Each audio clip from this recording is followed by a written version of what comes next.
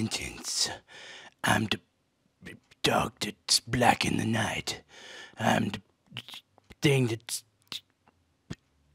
Batman. I'm Batman. Hello. Welcome to this uh, review for the Batman. Yes, Matt Reeves' Batman is finally out. Uh, the Batman, I should say, because that's what it's called. Uh, Robert Pattinson is playing Bruce Wayne slash the Batman, spoiler alert, and uh, Zoe Kravitz is Catwoman. And Colin Farrell's supposed to be in it somewhere. I, I couldn't find him, but um, he's in the credits, so he must be there somewhere. And right off the bat, uh, I enjoyed the shit out of this movie. Uh, it's really really good. It's really good. I don't know why I'm sounding surprised, like, like I wasn't expecting it to be good. Matt Reeves' uh, last two movies were the, the last two Planet of the Apes movies, and uh, they were really good as well. So I had high hopes for this movie, and it met them. I wouldn't say it exceeded them. There's certain things uh, that I didn't like about the movie. We'll get to those soon, but off the bat, overall, I really enjoyed this movie. Matt Reeves definitely uh, he had a, a, style that he wanted to bring to the movie, and uh, man, he bought the shit out of it. This is a detective noir thriller. Uh, it's in the vein of Seven or Saw in some ways. I, I was, I was, this is this is PG thirteen, so it's not gory or anything, but there's certain uh, moments that definitely make you go, "Well, this is a Saw movie," and I wasn't expecting that. This this movie definitely goes for for a mood. It's going for a certain mood, and it, it hits it right out of the park. Up until the last like 20 minutes, where it the mood kind of changes into a comic book movie. Obviously, it's uh, based on a comic book, so you know it's not that surprising.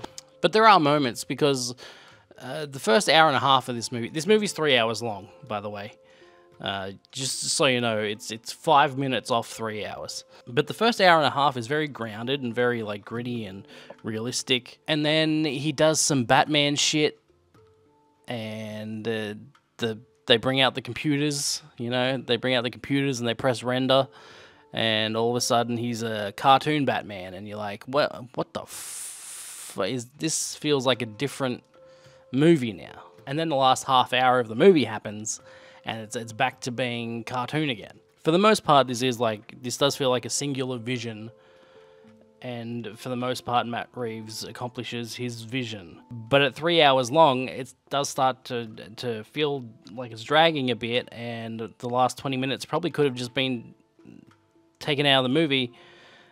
There's just a part of me that just feels like maybe like the studio had something to do with oh you've got to add more cartoons. I don't know. Maybe it was matt reeves. Maybe he was like yeah yeah we need to like add more cartoons. We can talk about this at a different place a different time but, uh, but it's it's always funny to me when people say oh is this like a is this a movie with real people in it? And they're talking about like a marvel movie. It's like at times sure but uh, a lot of the time it's a cartoon because it's made in a computer. The acting is uh, great, pretty much all around. I, there's no weak points when it comes to the acting here. Robert Pattinson is a really good Batman. Zoe Kravitz is a really good Catwoman. John Turturro is in this movie, and he's fucking great. Colin Farrell is he actually is in the movie as uh, the Penguin, but you wouldn't notice him unless someone told you that that's him. Uh, and he's really great. He does a very heavy New York accent, uh, and I love it. Andy Serkis is Alfred, uh, and he's not in the movie too much, but you know, he makes a really good Alfred. And of course, Paul Dano, or Dano, Dano, Dano, anyway, uh, is the Riddler, and he is also really, really good. No weak links in the cast. They all do their roles very well. Also, Jeffrey Wright as Gordon. Uh, this cast is crazy.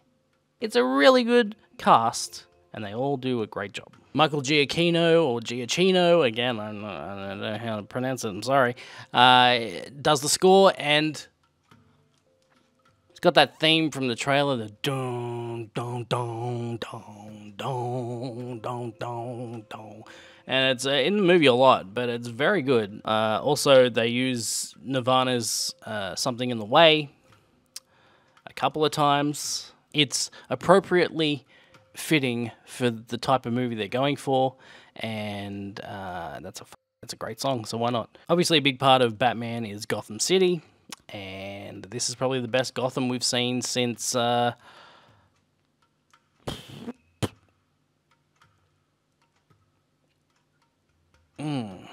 Batman Returns.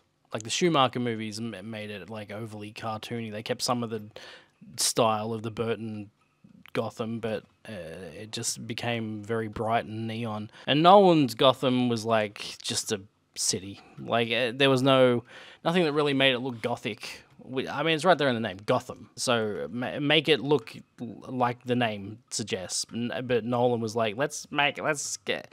Let's make it look like Chicago, and I feel like this the new one, the Matt Reeves one, is like a good combination of the two, where it is grounded like a Chicago, but also has tinges of the the Tim Burton gothic architecture. And again, it uh, it blends in with the the theme of the movie and and I don't think it's ever mentioned in the movie, but they don't live in Wayne Manor.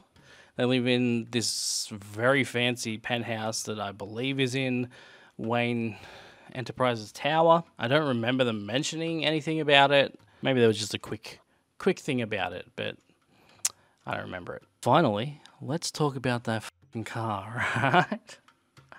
My goodness, this Batmobile is so badass because it's just it's just a hotted up car. That's all it is. It's somewhere in between the over the top Batmobiles and the regular just a car Batmobile. But it's so cool and the the scene where you first see it in action is this movie has a really good way of introducing the vibe of Batman. He starts off the movie doing a monologue about, you know, what what Batman means. The scene where you first see him as Batman is like the build up to it is is amazing because they're building it up like all the crooks in in Gotham are scared of the shadows. Once they see the bat signal in the night sky, that's the cue to to get the away from whatever bad they're doing. And I don't want to go into detail about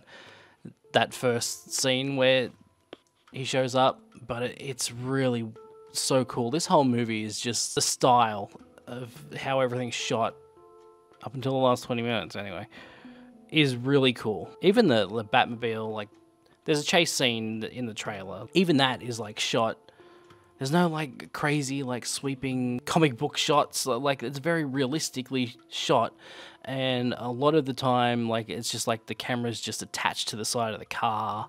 And it's just it's so cool and so grounded while also having just so much style. Like the Nolan movies, as good as they are, they kind of went in the too realistic uh, direction. There's nothing super fantastical about that Batman, and there's nothing really super fantastical about this Batman. But he does use his grappling hooks a lot, and there was that one scene in the middle where the computers took over that I wasn't uh, very happy with. But it's uh, it's a sort of thing that definitely would not have been in a, a Nolan movie. At least not the way it's set up to be in this movie. So overall, the Batman is badass. I, I can't really say too much bad about it. Yeah, I can nitpick and say there's a couple of things that were kind of like, uh, uh, that could have been done better.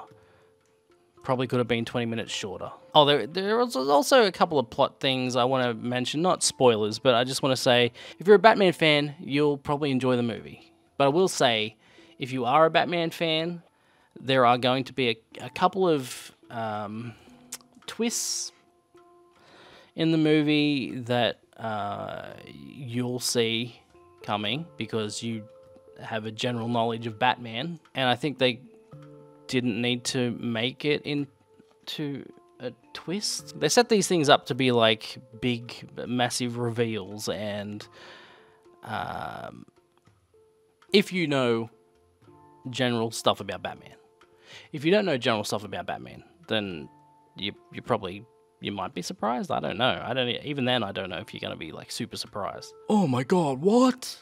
I don't think that's gonna happen. So there you go. That's the Batman. If you're up for going to the movies, go see it. I recommend it. I'll see you again next time. Stay bad.